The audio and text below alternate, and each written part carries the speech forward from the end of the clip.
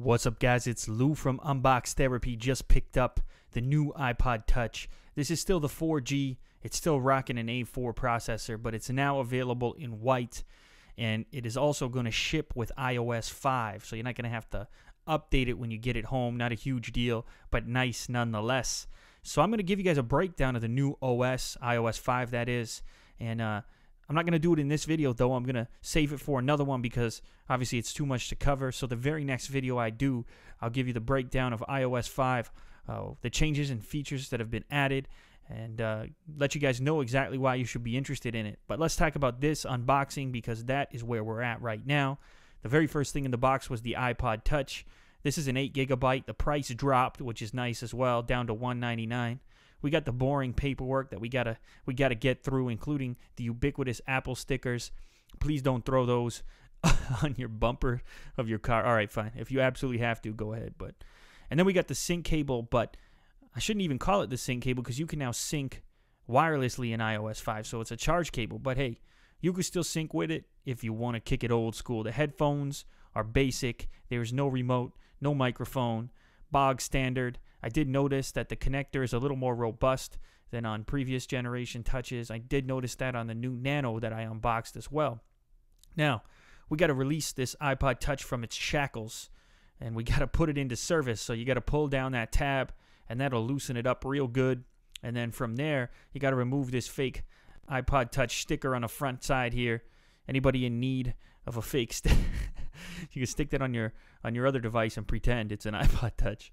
So we got the camera on the back as well as the volume buttons. Of course, the 30 pin connector along bottom, our headphone jack, and a little baby speaker. And on the front, we have our forward facing camera as well as our home button and then the power button along top. So let's boot this up, see if we can get a quick little preview, a little glimpse of this iOS 5 goodness. So there it is. Uh, no more are we greeted by that terrible connect this to iTunes logo. No, now we're good to go straight out of the gates.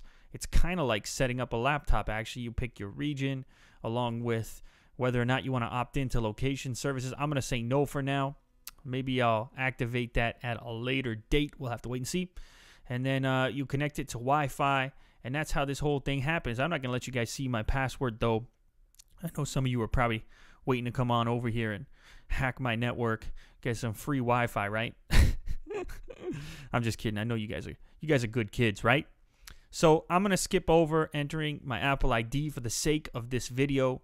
And here's where you say yes to the terms and conditions, sign your life away to Apple forever. All right, never mind. I'm kidding about that. Don't be scared. And uh, couple of check marks and we're in. And you can see already it's iOS 5 because there's brand new icons and whatnot. But let's go into the general settings here and make sure that the version is correct. And there it is. Version 5.0. Yes, we have iOS 5 goodness preloaded. Now, as you guys know, this thing is super slim, a real pretty device. You probably already knew that because of the black model. And um, hey, if you were thinking about getting one and you wanted it in white, uh, well, I guess now is the time to bite. Uh, it feels real good in the hand. Anyway, guys, if you don't mind, hopefully you could like and favorite this video as it does help me out a bunch.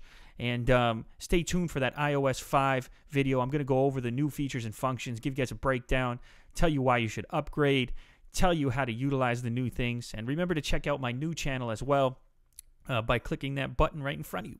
Anyway, guys, until next time, and as always, thanks for watching. Later.